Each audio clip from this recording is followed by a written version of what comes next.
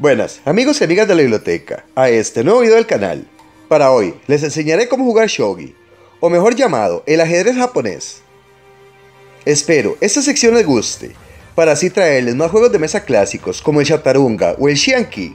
Así que si quieren aprender a jugar estos juegos tradicionales de otras partes del mundo, apoyen este video con su like, comentando y compartiendo. Y sin más, pasemos a verle. El shogi, también llamado el ajedrez japonés, es un antiguo juego de la nación del sol naciente, el cual se juega en un tablero de 9x9, con reglas muy similares al ajedrez europeo, aunque también con varias diferencias importantes. Las fichas por lo general son pentágonos con la base cuadrada, por lo que la punta de las fichas indica hacia dónde se mueven y por lo tanto su dueño, ya que en este juego las fichas de ambos jugadores son del mismo color.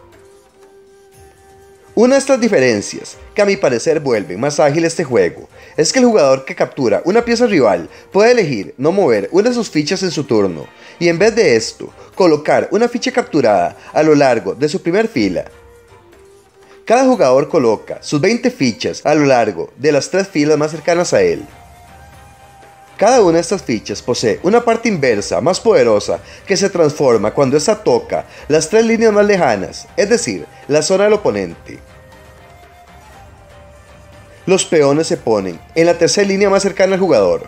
Los peones o soldados de pie solo se puede mover un espacio hacia adelante y a diferencia de los peones del ajedrez, estos pueden comer una ficha al tiempo que se mueven.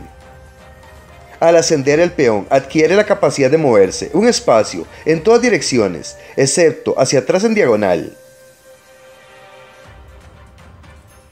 Luego tenemos dos fichas que se colocan en el segundo espacio de la segunda fila, el alfil y la torre.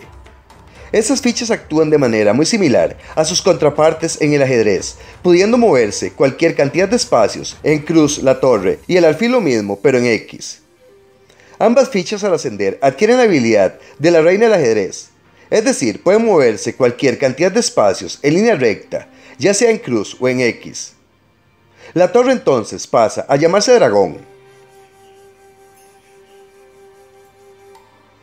En las esquinas de la fila más cercana al jugador están los lanceros, piezas muy simples, ya que únicamente tienen la capacidad de moverse hacia adelante cualquier cantidad de espacios, pero esta no es capaz de saltar sobre otras fichas, por lo que habrá que liberarse del peón que se tiene delante para que éstas puedan llegar a la zona del rival, donde se transforma, adquiriendo la capacidad de moverse hacia cualquier lado excepto en diagonal hacia atrás, similar a los peones.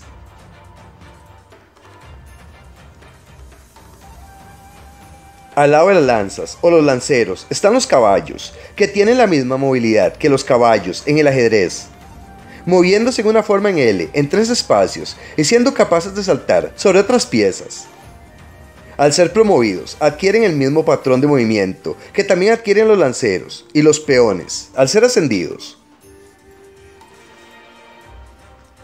Luego estarían los dos generales plateados, fichas como el lancero, exclusivas del shogi, la cual puede moverse hacia adelante en diagonal y al frente en diagonal hacia atrás, al ascender, adquiere el mismo patrón de movimiento que las fichas anteriores.